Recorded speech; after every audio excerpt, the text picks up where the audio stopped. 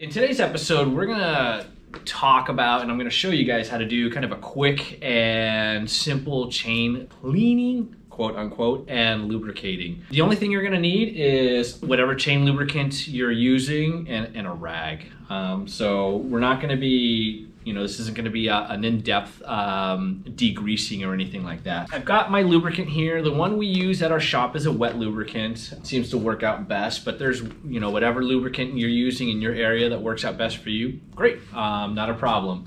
Uh, wet or dry lube doesn't matter. I've got my oil in my little oil can applicator, and what I'm gonna do is I'm just gonna place the tip of the applicator here and really, like I said, this is just a quick and dirty um, job here. You see, I'm not paying attention to any particular links or or anything like that. I'm just squirting oil on here until I get the chain nice and drippy. You know, I'm getting a lot of uh, oil on the chain as I'm pedaling and it's snaking its way through.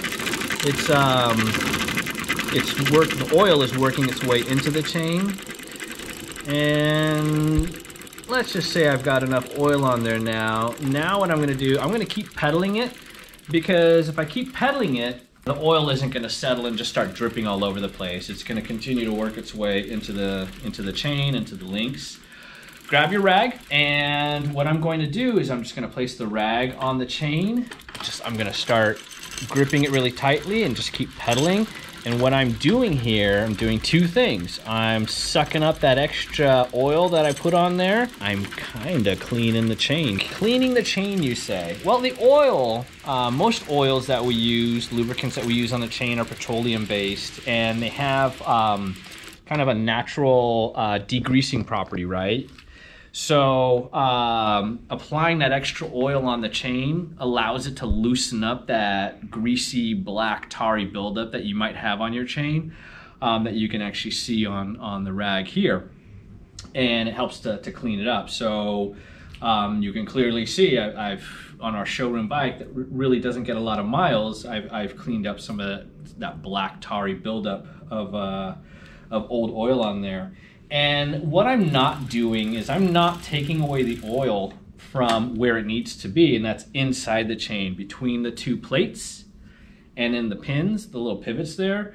Oil, the rag can't get inside there. I'm only wiping the excess oil off of the surface, but I'm also applying a coat of oil on the surface of the chain, and that helps to act as a moisture barrier.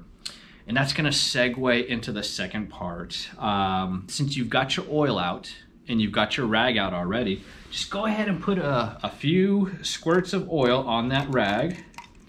And then what you wanna do is on any exposed, you know, screw or metal, and even if you're not quite sure, is this iron or is this aluminum? If you don't know, just take a little that rag with that little bit of oil on there and just rub it on on those fittings where you might think oh, you know, there's a screw on there and I don't want it to start rusting.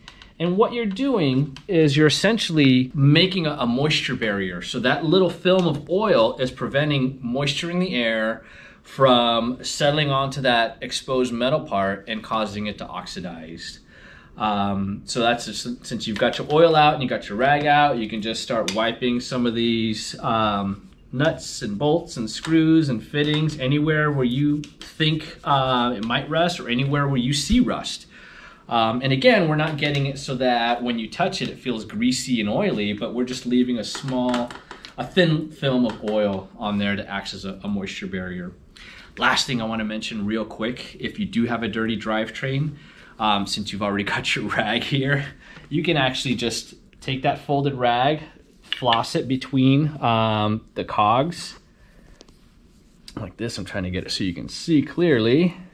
So just stick it between the cogs like this. And then just, again, pedal backwards and, and clean in between the cogs like that. And you can actually see the grease that you pull out from between the cogs, how dirty you can get inside there.